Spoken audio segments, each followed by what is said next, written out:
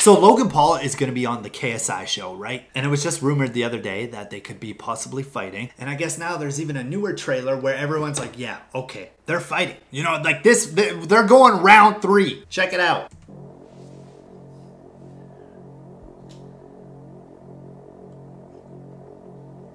This better not be clickbait.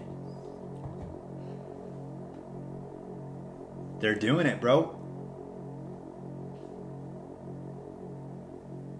July 17th. It better happen. That's in literally like a day. Did KSI and Logan fight for the show? I hope so. Or else they're gonna use this trailer and act like they were gonna, but then it's gonna be some sort of weird clickbait where it's like, oh, we didn't really fight each other. I mean, they have already fought twice, you know, KSI won both times. Well, one was a draw. I would love to see, you know, round three. Tell me what you guys think, though, down in the comments.